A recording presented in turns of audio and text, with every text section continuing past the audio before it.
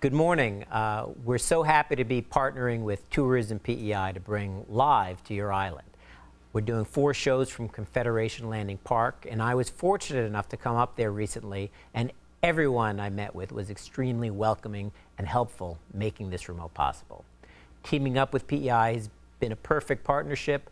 You know, we have a strong lifestyle uh, focus, including travel and food and entertainment, and uh, I know your island has a lot of those features that we're going to be able to show off really well.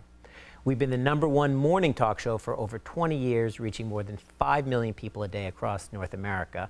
And we've taken the show all over the world, including Disneyland, Disney World, New Orleans, Vegas, and we've gone to even Niagara Falls in Canada.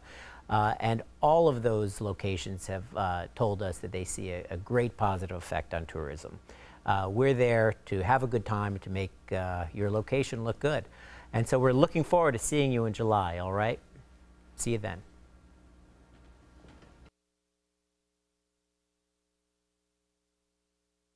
Hi, everybody. Well, we're thrilled to be taking live to Prince Edward Island up in Canada. We've heard wonderful things about PEI beautiful beaches, delicious food, mussels. We're going to get Regis to eat oysters, lobsters, warm hospitality. We can't wait to get up there and experience it for ourselves. Canadians have always been enthusiastic members of our studio audience, and now it's our turn to come to you. We can't wait.